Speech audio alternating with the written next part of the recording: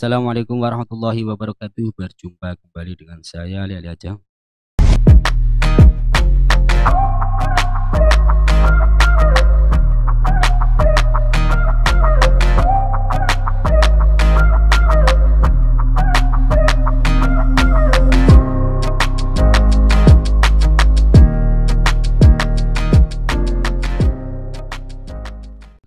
Kali ini saya akan berbagi bagaimana cara menghubungkan action kamera Pro 5 dengan HP menggunakan ya buat kamu pengguna baru kamera action Pro 5 yang belum pernah sama sekali menggunakan kamera action pastikan akan merasa kebingungan untuk cara menghubungkan kamera action tersebut dengan smartphone. Memang jika masih baru akan kebingungan seperti halnya saya ketika dulu baru memiliki action kamera kamu. Saya juga merasakan hal sama seperti kamu. Namun setelah coba untuk mempelajari sering memakainya, sekarang menjadi lebih tahu cara setting maupun cara menggunakannya.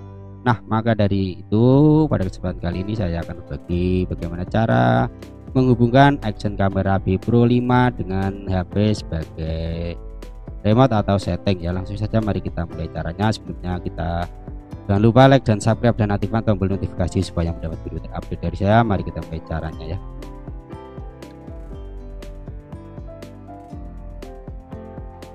Oke. Langsung saja ya. Siapkan ini. Ada kamera Vibro 5 nya kita nyalakan dulu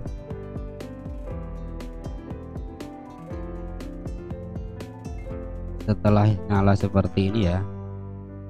Di sini kita harus sebelumnya ya sebelumnya setelah nyala seperti ini kita siapkan HP-nya setelah itu HP-nya kita harus download aplikasi ya. Oke download aplikasi di Play Store.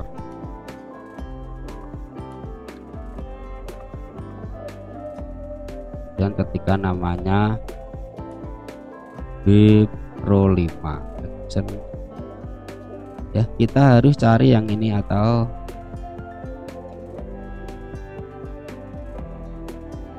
ini ya. Sebentar sebentar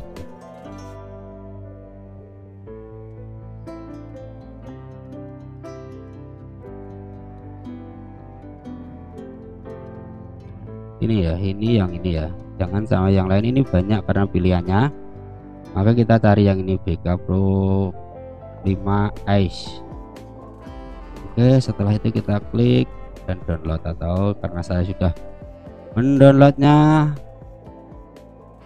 sini saya tinggal buka ya. Kalau belum di sini pasti tulisannya download atau install. Oke setelah terdownload maka tampilannya seperti ini ya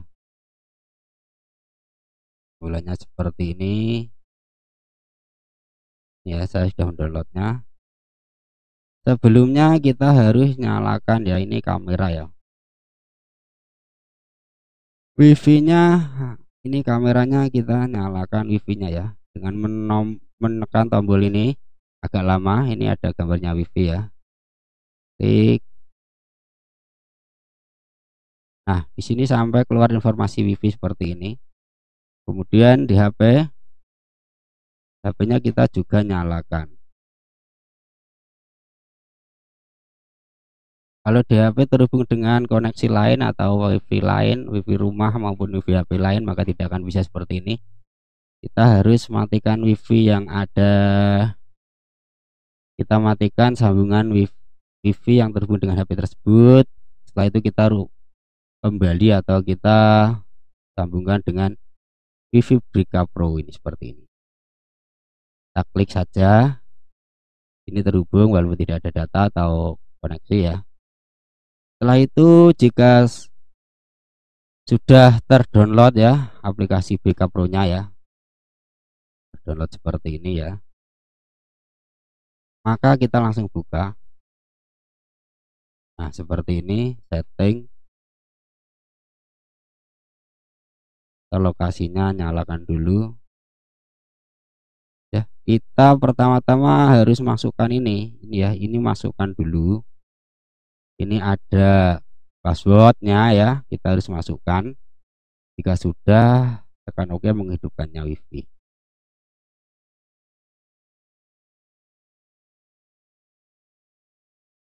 Sebentar sebentar. Setelah itu kita klik shot ini shot kita klik ke oh mati ya?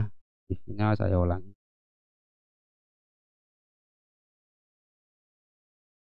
Ya seperti ini ya di HP ini sudah eh di kamera ini sudah keluar. Kita klik konfirmasi.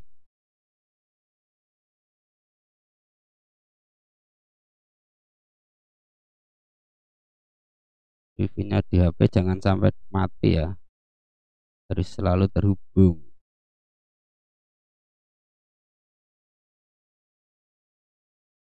setelah itu kita klik shot keluar aduh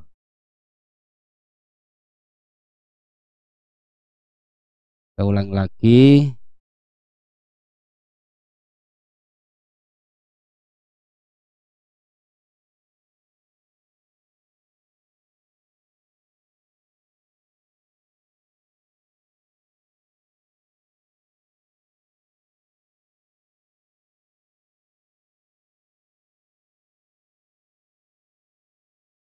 ulang lagi.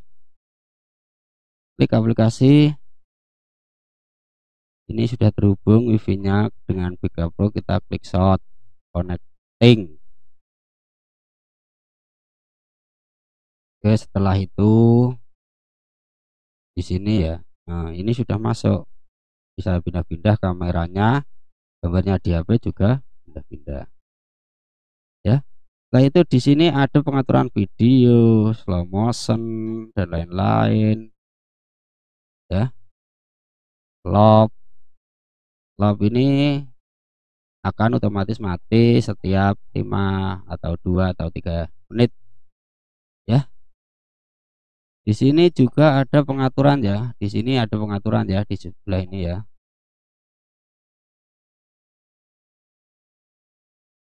Ini pengaturan ya kita klik di sini ada 4K 2,7K 1080p 1080p 60 1080p 30 ya. Ini bisa kita atur-atur dari HP tersebut. Dan juga bisa mendownload ya. Jika kita ini di sini ya. Ya HP ini sudah mendapat rekaman video atau foto kita bisa klik ini ya di sini akan tampil semua file yang sudah tersimpan ya. Untuk mendownloadnya ya kita ingin mendownloadnya ya.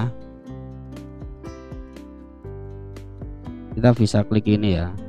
Ketiga ke bawah itu. Setelah itu nah di sini di sini ada download. Ya atau menghapusnya download ini. Coba kita klik download. Nah di sini tinggal kita tandai nah jika yang tertanda ini setelah itu kita konfirmasi ini konfirmasi download. Ya. Konfirmasi download ini. Karena saya tidak ingin mendownloadnya. Coba kita download ya download satu. Konfirmasi. Nah di sini ya ini sekedar contoh ya. Ini sudah mulai mendownload ada jalan beberapa detik MB oke. Jika kita mau membatalkannya bisa tekan yang ini. Sini cancel confirm. Confirm keluar ya berarti tidak bisa tidak jadi mendownload ya. Ya di sini juga kita bisa mengontrolnya ya jika pakai HP seperti ini kurang lebih. Ya cukup sekian Semoga video kali ini berguna dan bermanfaat bagi Anda sekalian dan jangan lupa like dan subscribe dan aktifkan tombol notifikasi supaya mudah video terupdate dari saya. Ya akhirnya wassalamualaikum warahmatullahi wabarakatuh.